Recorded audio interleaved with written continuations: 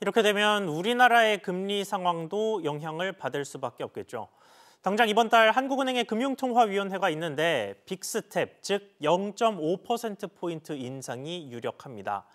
문제는 이렇게 됐을 때 대출 금리가 어떻게 될 것이냐 이 부분인데 자세히 알아보겠습니다. 권세욱 기자. 네, 권세욱입니다. 네, 일단 우리나라와 미국의 금리 차가 지금 FOMC의 결정으로 더 커졌죠.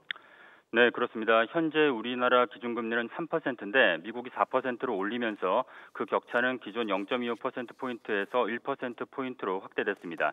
이에 따라서 한국은행도 오는 24일에 열리는 올해 마지막 금융통화위원회에서 기준금리 인상이 불가피해졌습니다. 시장에서는 0.5%포인트 인상, 이른바 빅스텝을 유력, 유력하게 보고 있습니다. 금리차가 클수록 자본 유출 가능성이 커지고 환율도 크게 오를 수 있기 때문입니다. 치솟는 물가도 부담입니다. 다만 0.25%포인트 인상, 이른바 베이비 스텝 가능성도 배제할 수는 없습니다.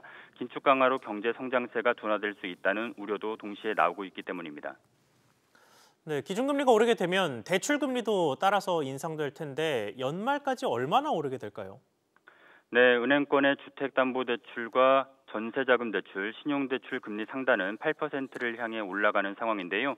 한은이 기준금리를 올리면 연말 대출금리가 9%에서 최대 10%대까지 오를 것이란 관측도 나옵니다. 한은과 달리 미국 연방준비제도는 다음 달에도 연방공개시장위원회 FOMC 정례회의를 여는데요.